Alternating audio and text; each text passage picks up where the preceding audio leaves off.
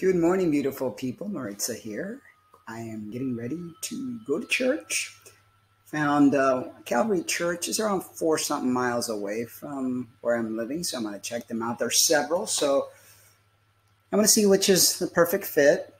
I watched some of the videos of their live ministries, and I liked it. So I'm just going to go check it out and see what's up. Um, still raining. It's been raining so much for the past few days. Luckily, in the morning, I get my run in. Although today I didn't run, I decided to take the day off for this Sunday. I don't know if I'll always take Sunday off because I think it's important to get your body into motion daily and um, eat healthy, pray, and love on Father. That's what's going to keep you all healthy. Um, my mom's doing a little bit better since I've been here. She had a few bad days. Her fever went up, but I went into my ancient Chinese secret remedies, um, all natural stuff, and been giving her fruits and a lot of greens. I've taken over their um, their cooking and stuff like that, so that to make sure they both get healthy food. So I will be, I'll be their chef, and um, and I will be providing them with the things that their body requires um, you know, my mom's 75, so she she needs extra care, and um, I'm going to do that for her because that's my mom, and uh, it'd be more than pleasure for me to do that. So what else? Everything is going fantastic.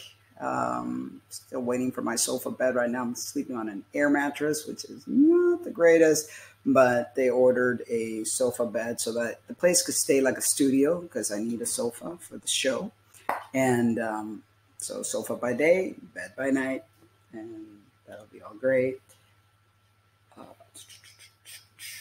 guys, please, please, please walk in the path of love and light. And not the love that many of you are trying to push, accept me, let me be who I am. That's not love.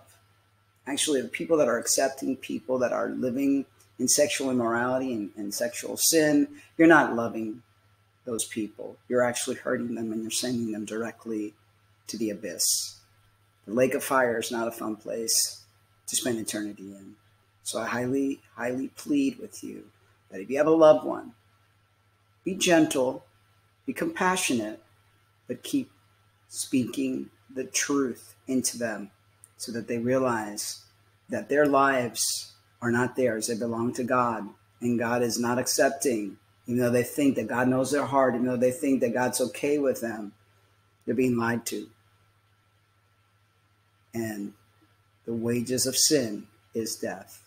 So we have to be very mindful and we have to create tactics to reach our loved ones, being gentle and loving, but telling them the truth every step of the way. Because if you don't, then you too are prone to the judgment. We want everyone that's good hearted to be saved. We want the people, the family of God to unite and love one another for the true source of love, not some fake love that means you get to do what you want. That's not the way to go at all. So, anyway, I'm going to go ahead and um, end the video. I just wanted to make a quickie. I'll be back tomorrow, and I know there's a lot of people waiting. You know, they've they're they're they're missing their chat, they're missing their transition family, and they're missing the exciting shows that I provide for you guys. Monday through Friday.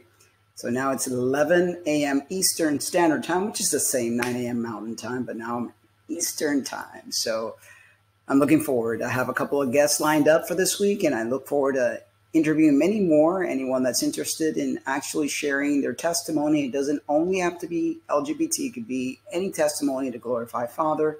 Please feel free to email me at transitionradioshow at gmail.com and all the links and all that stuff is usually in the channel description.